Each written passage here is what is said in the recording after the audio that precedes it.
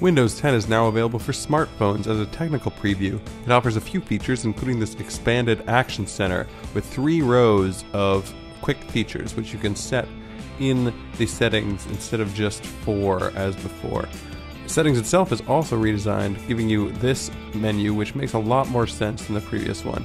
It couches a lot more settings within other settings, but it gives you a good description and it's easy to navigate.